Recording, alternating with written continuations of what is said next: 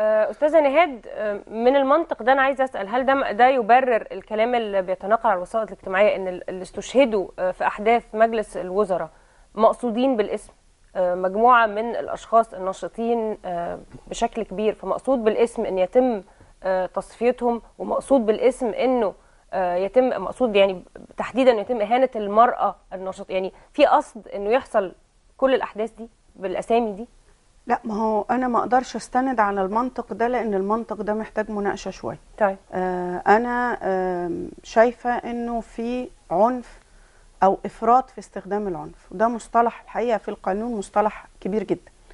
هذا الإفراط في استخدام العنف موجه تحديدا ضد المرأة ما عنديش مشاهدات بتقول ده. أنا عندي 11 شهيد شاب ما كانش فيهم واحدة امراه صحيح. عندي آه حوالي آه واصلين ل 800 جريح أو 900 جريح دلوقتي فيهم نساء وفيهم رجال. أنا عندي قوة غاشمة تفرط في استخدام العنف وتؤدب المعتصمين.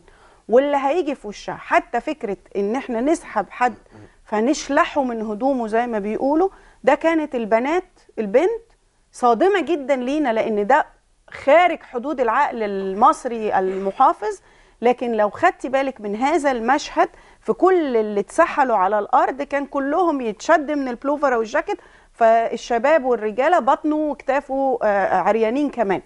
ففكرة إنه ده موجه تحديدا للمرأة أنا الحقيقة ما أقدرش أقول لك إنه بالضرورة يكون كده. إحنا قدام حالة عنف مفرط لكن بنقول إيه؟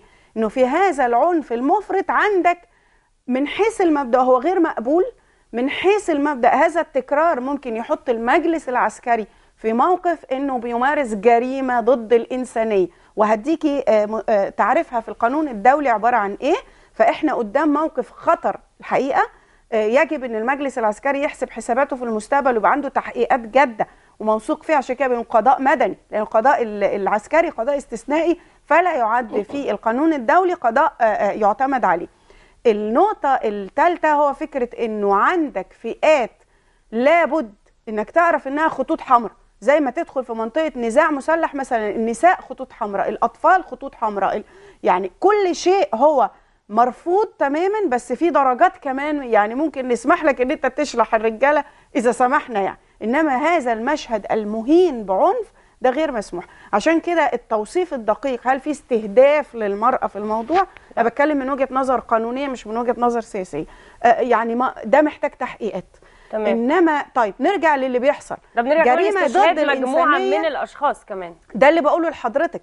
يعني إيه جريمة ضد الإنسانية في القانون الدولي؟ هو أي فعل من السلطة موجه وبشكل منظم إلى مجموعات مدنية. طيب لما نيجي نحط الواقعة دي من أشكالها إيه؟ القتل العمد الاغتصاب أو استهداف النساء وأشكال أخرى متعددة ست سبع أشكال. طب أنا قدام واقعة تقريبا هي الخمسة أو الستة حصل فيها قتل ما احناش قادرين نتأكد إذا كان عشوائي يعني اتنين بيتخانقوا مع بعض طلعوا السنجة ضربوا بعض؟ ولا إحنا قدام قناصة وقتل موجه وكذا. يعني بدءا من موقعة الجمل لحد ما بعد الثورة وتولي المجلس العسكري إحنا لسه في اللفة دي. أصل إحنا لا ما عندناش قناصة لا ما حدش كان فوق السطح الحدوتة دي. فأول حاجة لازم تثبتها هيئات التحقيق المستقلة المدنية إحنا قدام قتل عمد ولا لا. لأنه قتل عمد ده انت قدام جريمة ضد الإنسانية انت قدام عزل وسلطة. طيب تحرك الملف ده إزاي؟ يعني سميرة مثلا تتحرك إزاي؟ البنات اللي تم التحرش بيهم على سلم نقابة المحا... الصحفيين في 2005 التحرك بيحصل إزاي بقى؟ تطوره بيحصل إزاي؟ أو ده اللي يخلينا إحنا كمصريين مهتمين جدا إن القضاء في مصر لازم يبقى مدني بقضاة تحقيق ويبقى مظبوط بالمعايير القضائية القانونية المحترمة. ليه؟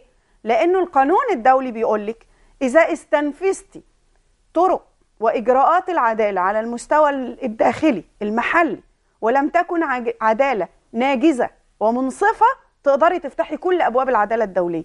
يعني إيه؟ لو أنا هنا شكيت في الإجراءات القانونية اللي بتحصل لو أنا كده سميرة أو أي ضحية من ضحايا هذه المواقف سواء ست أو راجل شكيت في أن ما يحدث في مصر ليس عدالة ناجزة ومنصفة من حقهم إنهم يروحوا للقضاء الدولي. وبالتالي الملف بتاع 2005 ما اتقفلش الملف بتاع 2005 طبقا للاختصاص القضاء الدولي هو موجود قدام المحكمة الأفريقية الدولية دلوقتي. ماشي؟ شغالين فيه دلوقتي. طب ملفات ما. بعد الثورة بقى. بدءا من سميرة لكشوف العذرية ل... إذا المجلس العسكري لم ينتبه بدقة انه القضاء العسكري هو طرف في الموضوع وبالتالي ايا ما كانت الأحكام اللي هتطلع عنه ليست ناجزة ومنصفة الناس هيبقى استنفذت طرق التقاضي المحلية وطبقا للقانون الدولي من حقها إنها تروح محكمة الأفريقية لحقوق الإنسان محكمة الجنائية الدولية تقدر تتحرك في مستويات إحنا ما نحبش نوصل لها طيب. أنا عشان وقتنا بيخلص وعايزة أنتقل لنقطة مهمة وهي المبادرة اللي آه، طلع بيها مجموعة من آه، نواب مجلس الشعب آه، اللي طلعوا يعني من المرحلة الأولى والثانيه حتى الآن والاعتصام اللي أعلن من يومين والمطالبة الصريحة والمبادرة اللي أعلنوا عنها وهو إنه انتخابات آه، رئاسيه والحل الوحيد للخروج من هذه الأزمة هو ان الانتخابات الرئاسية تبقى 25 يناير القادم. حضرتك شايف المبادرة دي؟ إزاي؟ أنا الحقيقة أيام محمد محمود هقول خلفية بسرعة كده كان في آه، طبعا تفكير في إيه هو المخرج. في أيام 25 23 نوفمبر. وكان في مجلس رئاسي مدني وكان حكومة انقاذ وطني أنا شخصيا كنت معترض على الاثنين اللي ما لهمش آلية. المجلس الرئاسي المدني تحتاج إنك تحددي أشخاص وأي اتفاق على أشخاص صعب. صعب طبعا. وحكومه انقاذ وطني في ظل حكم عسكري حتى لو الدكتور برادة ماسكها ملهاش أي لازمة. المشكلة في الحكم العسكري نفسه. فأنا الحقيقة كنت معترض. فقلت أحسن حاجة حل يا جماعة نتكلم على نفس شرعية الإعلان الدستوري. نتكلم على انتخابات الرئاسه المبكرة. كان اقتراح أياميها كان في 25 نوفمبر. ويمكن قلته على الهوا برضه في, في بعض القنوات إنه آه، فتح باب الترشيح لانتخابات الرئاسة في أول أسبوع من ديسمبر. طبعا كان تنظيم انتخابات الرئاسة ممكن يخلص في يومين. فقدامي 55 يوم لغاية آه، 25 يناير. ففتح باب الترشيح لغاية 25 يناير. يتم إجراءات انتخابات الرئاسة في 25 يناير والإعلان عن رئيس منتخب في 11 فبراير. وطبعا التواريخ دي ليها معنى هام. جدا. مشكلة ال ال ال ال الاقتراح ده كان حاجة بسيطة شوية اللي هي مادة مادة 27 في الإعلان الدستوري اللي هي شروط الترشح لانتخاب رئيس الجمهورية 30000 توقيع وال- هو مش هياخدوا وقت الحقيقة فهي كانت فيها جزئية مجلس رأي الشعب والشورى فأنا عملت تعديل مع بعض الناس القانونيين اللي أعرفهم وعملنا تعديل بسيط جدا. وكان الاقتراح ده موجود ساعتها بس قالوا لا إحنا خلاص اتفقنا على حكومة إنقاذ وطني اسحب المبادره دي يا دكتور حازم عشان ما نعملش تفتت في الميدان. اللي حصل بقى دلوقتي اليومين اللي فاتوا إنها عادت تاني للساحة. آه وده شيء كويس. بس دلوقتي آه المبادرة دي دلوقتي هو بيتكلم عن انتخابات الرئاسه في 25 يناير الجاي. دلوقتي بقى الوقت ضيق شوية. لأنه إحنا دلوقتي خلاص إحنا قدامنا شهر. آه، أنا أنا شخصيا أتمنى المبادرة دي تنجح. لو ما احناش نخليه 25 يناير ممكن نخلي انتخابات الرئاسة في 11 فبراير. بس هنخش في موضوع انتخابات مجلس الشورى. اللي إحنا برضو لسه في علامات استفهام في ناس كتير بتطالب بانه ما يبقاش أنا طبعا طول عمري بطالب بإلغاء مجلس الشورى لأن ده فرضوا علينا اللواء شاهين كويس هو اتحط كده في الاعلان الدستوري وبعدين الحقيقة مجلس الشورى ده كان عشان حبايب مبارك وكان عملية كلها طردية وكلام من ده. تمام. آه، في النهاية في اقتراح تاني اللي هو رئيس مجلس الشعب اللي المنتخب اللي جاي إن هو يمسك الرئاسة آه، وقتين لمدة 60 يوم لحين إعداد يا إما إعداد دستور جديد يا إما انتخاب آه، انتخابات وفي تعليق للإخوان برضه لو حضرتك شفتيه في تعليق مهم. للإخوان بس عايز آه. أعرف الأول رد حضرتك على المبادره مبادره انتخابات رئاسيه 25 حضرتك عندك تعليق الحقيقة أنا أفضل إن كل المجموعات تقعد مع بعض ونحاول نعمل استراتيجية للمستقبل. لأنه العمل في مستقبل البلد بطريقة الفعل ورد الفعل من كل الأطراف من المجلس العسكري ومن التيار المدني ومن الثوار ومن التيار الإسلامي. يعني إحنا شغالين دلوقتي عاملين كلنا زي عمال الترحيل ما بنديرش بلد. إحنا بنقوم الصبح عندنا شغلانة إيه. النهارده يلا نعملها. ده في منتهى الخطر. يعني هذا السيناريو بالنسبة لي غريب. كيف نأتي برئيس دون بناء قانوني لإدارة البلد؟ صلاحيات اسمه إيه ده؟ ولا اسمها إيه دي؟ هيبقى إيه؟ ما هي نفس الإشكالية فكرة بالظبط. الدستور اولا ما هو نفس الدور. مجلس الشعب أيوة. ما هو إحنا داخلين إيه؟ انت بانية غلط. يعني أنا الحقيقة هذا ال ال ال ال التهريج القانوني اللي حصل يتحمل مسؤوليته بالدرجة الأولى المستشار طارق البشري آه، اللي كان كلنا وثقنا فيه إنه يعمل لنا بناء قانوني محترم هو واللجنة بتاعته. ويتحمل مسؤوليته بقى اللي اتفق معاه المجلس العسكري. إحنا قدام كحد ما آه، شغلانته قانون إحنا قدام حالة فوضى قانونية صحيح، عارمة. صحيح. دخلنا على حدوتة الإعلان الدستوري والانتخابات والكلام ده داخلين على برلمان مش عارف اختصاصاته وبيتخانق. دلوقتي على تشكيل حكومة وده مش من مش من حقه صلاحياته دلوقتي فجأة بننط على مركب هاتولنا رئيس رئيس على إيه؟ هو إحنا عندنا صلاحيات إيه محطوطة؟ هل ينفع أطلع بعمارة من غير ما أكون عاملة لها أسس؟ طبعا. ما ده الكلام اللي كان آه. بيتقال من فأنا زمان نفسي يعني. الحقيقة قبل ما نقعد نعمل المبادرات إن شاء الله ناخد شهر واحد. نقعد كده نحط نقول إحنا عايزين ننطلق للمستقبل إزاي؟ إيه البناء القانوني اللي هنتحرك عليه؟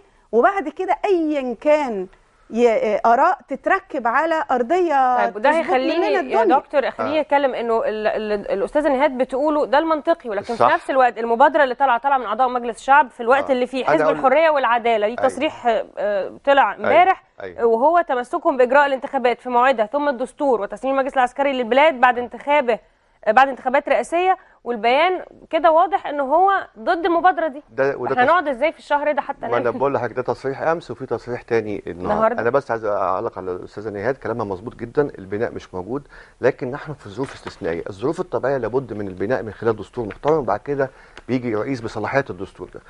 في ظروف استثنائية ومع هذا القتل والانتهاك الإنساني لحكم عسكري غاشم حاليا ونريد أن يترك السلطة في أقرب وقت. نحن في ظروف استثنائية. لمين؟ كويس؟ ال ال ما أنا فاهم حاجة. الظروف الاستثنائية دي بتخلي الواحد يفكر بطريقة مختلفة عن الطرق الطبيعية. اللي هي دستور اولا. فأنا شخصيا من المؤيدين في هذا الوقت إن يتم انتخابات رئاسية مبكرة ديمقراطية وشرعية. بصلاحيات الإعلان الدستوري المعيبة حاليا ممكن الدستور الرئيس ده يقعد سنة أو سنتين حسب الاتفاق. لازم الناس تقعد تفكر يكون في إبداع في التفكير شوية. لكن أنا من الناس اللي بميل إلى استمرار حكم العسكر في هذه الظروف من أخطر ما يمكن على الدولة. تمام. بس آه، بالنسبة لتعليق الإخوان المسلمين بسرعة سريعا ارجوك هم دلوقتي بيقول لك الدستور قبل الرئاسة. كويس؟ آه. ده في البيان اللي طالع صح. ده وقال لك إن ده في الإعلان الدستوري وده غير صحيح. الإعلان الدستوري لم يحدد هذه التراتيب اطلاقا. كويس؟ الدكتور أحمد مبارك النهارده طلع تصريح تاني في جريده التحرير كان لطيف وظريف وآخر جمال.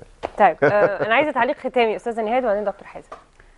في الظروف الاستثنائية دي بتفكرني باللي سايق عربية وفجأة حط رجله على الفرامل ما لقاش ما لقاش فرامل. فواحنا في الأزمة دي في كذا طريقة للتصرف. في طريقة إن حضرتك تفتحي الباب وتنطي ودي أسوأ طريقة للتصرف لأنه يا إما باب العربية وهي العربية بتتقلب يقطع الشخص ده يا إما دماغه تخبط في الرصيف فيموت يا إما يهدى كده ثواني ويفكر ويدور له على شجرة بنت حلال يلبس فيها فتبقى دي أقل الخسائر الممكنة. ده اللي أنا أعرفه في الظروف الاستثنائية. حتى الظروف الاستثنائية بيبقى فيها تخطيط. ممكن قصير المدى إدارة أزمة. ما, ما نحن فيه الآن إحنا ما بنعملش إدارة أزمة ما بنفكرش نعمل حاجة استراتيجية. الصبح أدي البلد لح... أنا ضد تماما تماما بس عشان محدش يزايد على حد آه، آه، استمرار ال- الحكم العسكري للبلد. خلاص. لكن ما نأخذه بإجراءات. أنا في تقديري طول الوقت ما هياش مدروسة عمال يلبسنا في, في أسوأ أوضاع ممكنة آه، آه، رئيس مدني في ظل أغلبية بالشكل ده في, في انتخابات في ظل شكوى إن الناس مضطربة ومش ومش مستعدة في ظل طيارات ما فيش آه، توازن تمام. يعني إحنا عايزين شوية ندرس المعطيات على بعضها طيب دكتور حازم تعليق أخير؟ هو دايما في فوبيا بين في المثقفين والنخبة بين الفوبيا من الخوف من التيار الإسلامي و... لا لا لا دي مش فوبيا لا فندم، الإسلامي لا خالص. فندم، حاجة تانية لا طيب. لا لا اسمع أنا بتكلم حضرتك أنا. بتكلم حضرتك مش على حضرتك أنا بتكلم لا على النخبه لا عموما لا معلش بس ده تعليق على مش بقول. من النخبة يا أنا فندم. بقولش أنا ولا أنا من أكمل- النخبه بس أنا يا بقولش أنا ما بقولش. أنا بتكلم على اغلبيه لتيار واحد لو كان تيار مدني كنت هقول برضه لأن تمام. إحنا عايزين البلد دي موزونة. وديمقراطيه وفيها كل الناس. تعليق التعليق الأخير إحنا لابد أن نتقبل العملية الديمقراطيه كما هي ولا يجب أن نخ- نخشى من التيار الإسلامي لأن ده المجتمع دلوقتي اللي إن شاء الله هيتطور كمان خمس سنين. المجلس العسكري حدد خريطة الطريق لغاية يونيو لغاية نص يونيو وعنده آلية إحنا بنقول كنا موافقين عليها قبل الأحداث الأخيرة. وكنا ماشيين بيها. نتيجة الأحداث الأخيرة اللي ظهر فيها المجلس العسكري بصورة غير مقبولة تماما. لابد من نفكر إنه لازم يترك السلطة بأي طريقة شرعية وبدل ما انتخابات الرئاسة كان هيعملها في أواخر يونيو لا إحنا بنقول له بنفس الآلية بنفس الشرعية هتبقى بدري شوية. بس تمام. عشان نتجنب هذا اللي اللي بيحصل. دكتور. حازم عبد العظيم المدون والناشط السياسي شكرا جزيلا على وجودك معانا. استاذه نهاد ابو القمصان مدير المركز المصري لحقوق المرأة شكرا جزيلا يا فندم على وجودك معانا. النهارده. آه خلصت حلقتنا وأحب أنهي آه الحلقة زي ما بديناها بالظبط بتحية لكل نساء مصر اللي رافعين راس مصر. صباح الفل. なぜか。